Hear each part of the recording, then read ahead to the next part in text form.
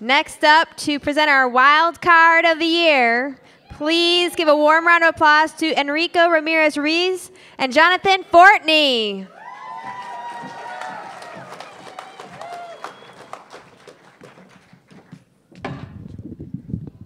Thank you. Uh, we first have to apologize for allowing two scientists to share the stage uh, in this beautiful award.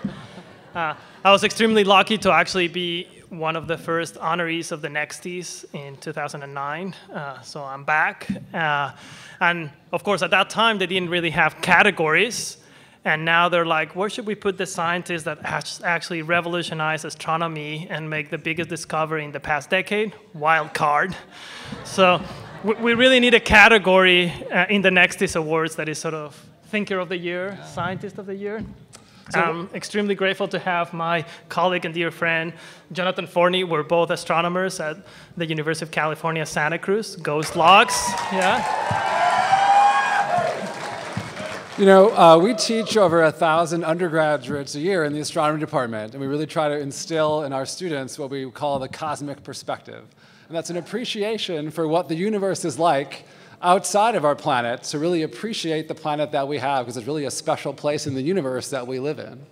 And uh, Ryan Foley, in addition to being a fantastic teacher of young minds at UC Santa Cruz, made one of the great discoveries of the 21st century in astronomy, which I think Enrico could tell you a little bit more about.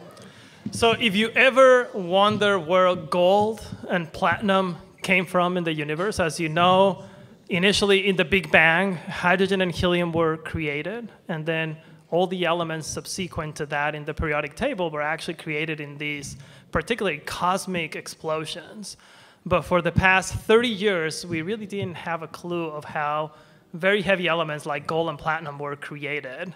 And I particularly devoted my career to do that. And Ryan, just arriving to our department a year ago, actually unlock the mystery of where gold and platinum came from. Uh, so in, in, some ways he proved he proved some of the theories that I work right. So it was it was great that he came to our department. Uh, so Ryan arrived two years ago from a small town in small town in Illinois. We stole him away we from Illinois away. University.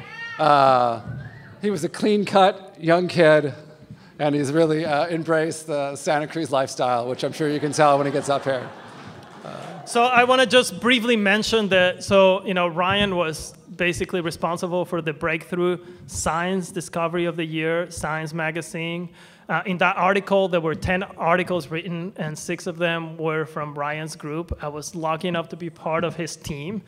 Something that is amazing about Ryan is actually all his students and postdocs were first authors in those papers, so he gave a lot of credit to the young people despite him being very young. So we're extremely lucky to have him in our department, and we're extremely happy that you know Santa Cruz honored you know the breakthrough of the year as the wild card uh, in the Nexties. And uh, please introduce the award. Ryan Foley, professor at UC Santa Cruz. Woo!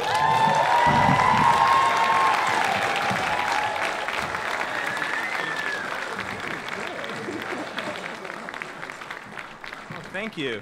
I, I, I, don't know if you guys can see from the back, but this is actually the award. Uh, and, and the beer mug's going to be great with the, the undergrads. I'll just put it in my office.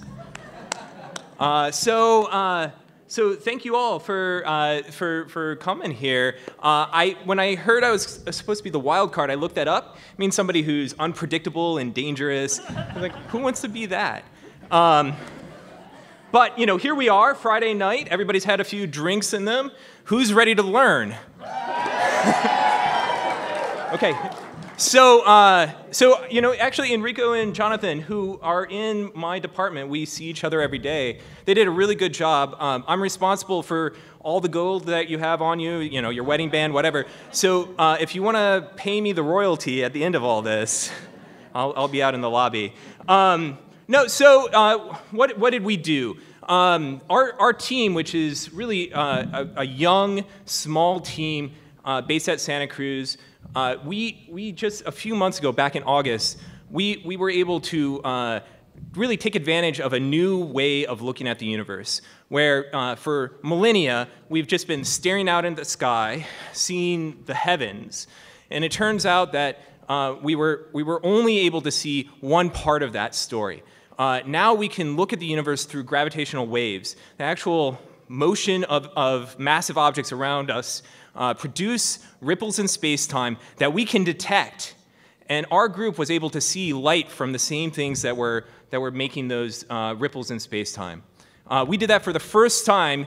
Uh, the first person to see it was sitting in his office at, at UC Santa Cruz. So, uh, so in all the history books, you know, we're, we're going to go down. Uh, and, and really, Santa Cruz is the best place to do this sort of work. Uh, you know, you, you guys, can, you, if you ever look up at that hill, uh, we're so thankful. You really embrace us for being able to uh, do some really innovative and striking things. And at the same time, you know, we, we hope we can give back to the community. Uh, we, we as a university, uh, we, we are a relatively diverse population, and our team was specifically diverse. The majority of our team was either an underrepresented minority or a woman. So we're really proud of that. And so uh, now, you know, when, when I look up at the sky at night, you know, I think about all these stellar collisions and, uh, and things like that. Uh, and when you, when you think about how tranquil it appears, and you realize how, how actually uh, violent the, the universe can be, uh, I think, you know, maybe you do need somebody who's a little dangerous, uh, a little unpredictable. Uh, so, uh, so I actually think the, the wild card uh, category works out well. So thank you all.